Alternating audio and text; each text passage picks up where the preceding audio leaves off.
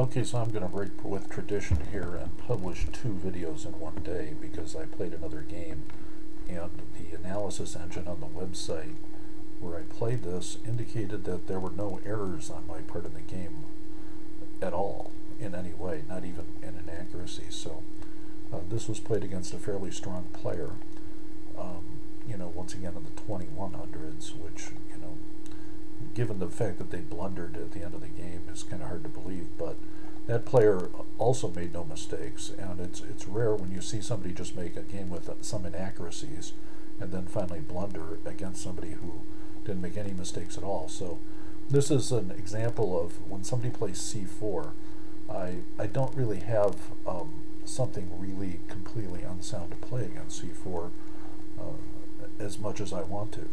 So basically what I want to do is play some sort of modified Dutch and um, you know playing f5 right away does work um, but it's not quite as exact as playing e5 and if you saw the game um, uh, one of my videos about how to beat grandmasters I think it was part two where I played an ex-world champion um, who played c4 uh, and I played e5 right away.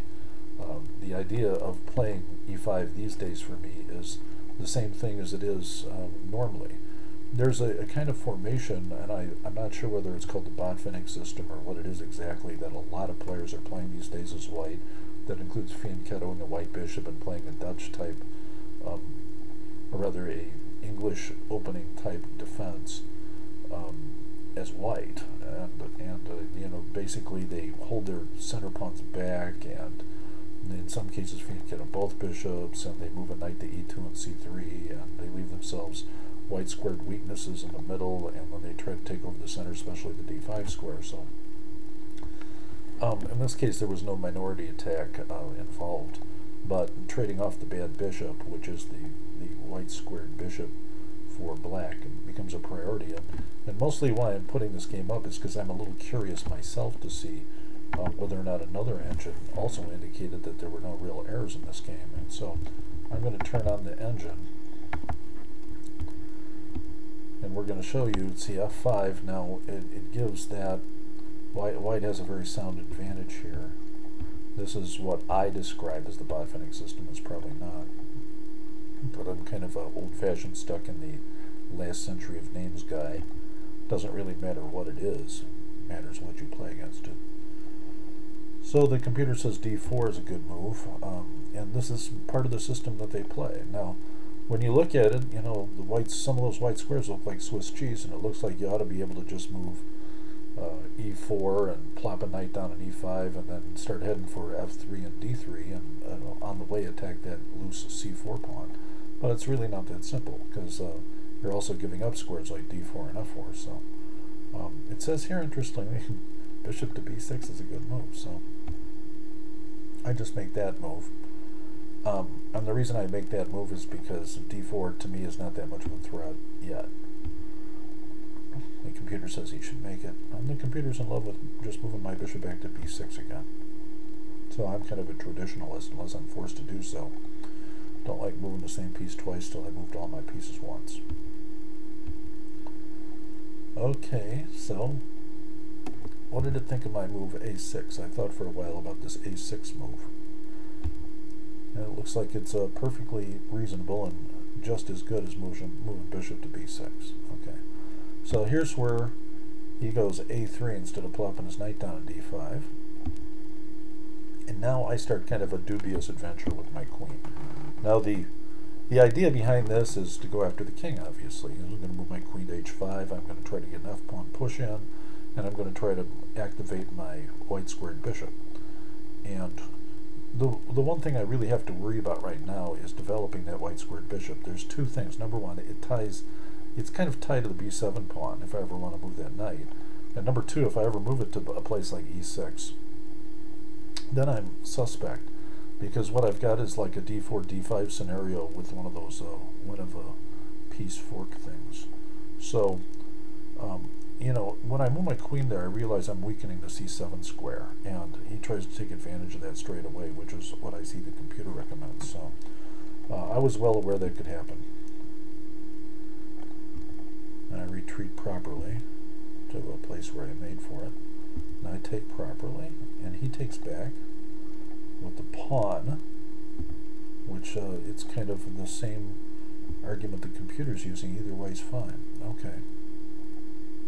Queen to c2 is what he played. It's almost like he's got a computer. And like c6, I played c6. So this is like one computer playing another computer. Except I guarantee I wasn't using one. So uh, once again, takes, takes, exactly what happened to the game. Now here's where um, it varies. He says d4 gives him a even game or very slight advantage. And I believe he developed his bishop, which is, looks like it's equally as good. At which point it says I should play queen to f7. So instead I develop my bishop, which uh, you know, the computer apparently has no problem with any of these things. So now it says I should move queen to f7. I still don't understand what it is about queen to f7 that's so magical. Um, maybe it's a preventative. You know, maybe it's like I can put my bishop on b3 if he moves a rook to d1. Instead, I make this amazing, dubious move. Um, I trade off his bishop, which is one of the things I put in the slide, and so the computer didn't really like that very much. This computer probably thinks that's an inaccuracy, this, this machine. And probably Luke Stockfish 8 says you should just take it, which I expected him to do. I expected him to take it, go to the 7th rank, and start attacking my d-pawn. Um, however, he pushes. Now, that that's just a strategic error, you know. When he pushes, he's giving me a whole variety of things I can do, although the computer says I need to retreat bishop to e6 and leave his bishop alone, let him attack my c, you know, whatever. Uh, I like the idea of opening my f-file, so I'm just going to take it. And now the computer says that's perfectly okay. And as you can see, his bishop no longer pressures my c6 pawn after taking it. So now the computer has changed its mind. Although it says moving king to h1 is kind of an important move here for him. And uh, that is kind of a little interesting move because it certainly looks like his f2 pawn's in danger. So he moves his rook. And now I get an advantage. And this move I took quite a while on because it's possible to just let him have that pawn. So I protected it. Once again, he wants to move the king in the corner. And this is where I think he went really wrong. Um, you move knight to c3, and sure enough, that's what the computer says too. So what was a better move? Moving the king in the corner, or knight to c1. So what's so bad about knight to c3 in this position? Well, there's a little issue with the d4 square. Um, the knight is somewhat misplaced. The knight needs to go somewhere where it can help the defense of the king, and it really has no future on c3. It blocks its own bishop in, it blocks the queen off the diagonal. Um, it gives up the d4 square to a potential of ever having a knight there, or a, you know, I move a bishop there straight away. So it's just not a good move. And so he goes down one, and once again the computer wants me to move queen to f7, threatening that b3 square. But I move it over where I'm more likely to go after his king. So now he moves rook to d2, which is a good move. I, I felt it was. It attack, uh, you know, defends the f7 square, makes room for his knight to go to d1 if he has to move there. Now wants me once again to put my queen back to f7. Okay, so um, now it says he should be exchanging queens, you know, and he doesn't do that.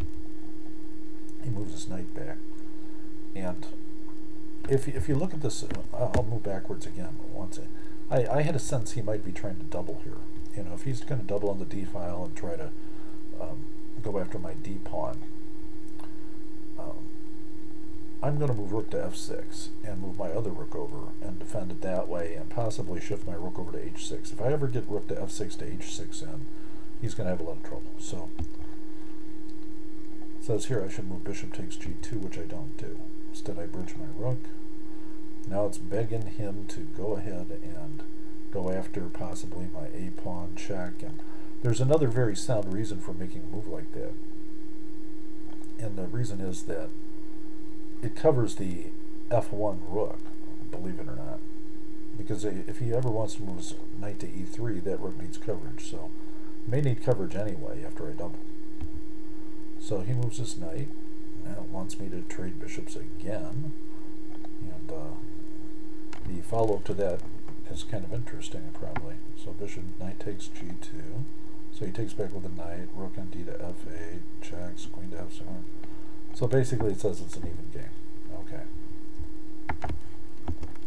So now I double. Now it says queen to d1's the right move, trying to trade us off. And this is where he falls apart. So Stockfish 8 says queen to c4 check and gives a very long, even type of situation. This game is uh, defendable for white. Um, you know, obviously I have a threat of bishop takes knight, uh, followed by like mate in 4 or something, you know.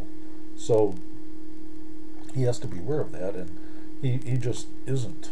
I, I don't know why. You know, maybe he didn't see the x-ray attack, or maybe this was some sort of big bad mouse slip where he went to go to c4 and like he went to a5. So I'm really not sure why, but if he checked me, I had to move in the corner, and so now after bishop takes knight, the game's over and he resigns. So it's a horrible, disastrous blunder in the end, but it's a game with no mistakes. And in general, this is how games are won. But it, it went from a perfectly even game to a tactical, silly error.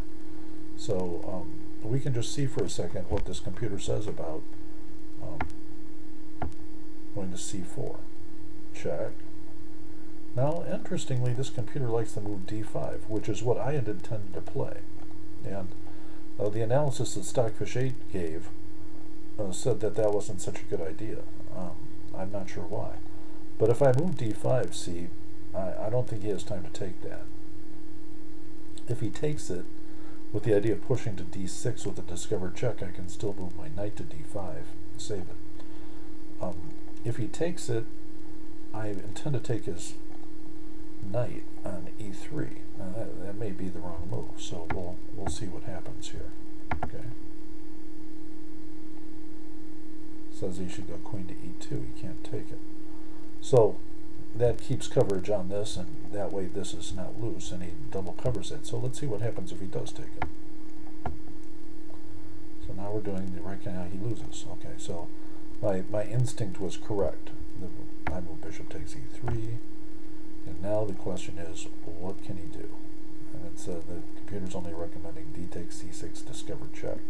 As I said, if he pushes, then I just move my knight there. So. Let's see what happens after the discovered check. We go in the corner, and he doesn't take back. Okay. Which is interesting, isn't it? So let's see what happens if he takes now that that now that that's covered. Well, what's going to happen is, you know, he's going to lose his queen. So he's just basically lost the piece.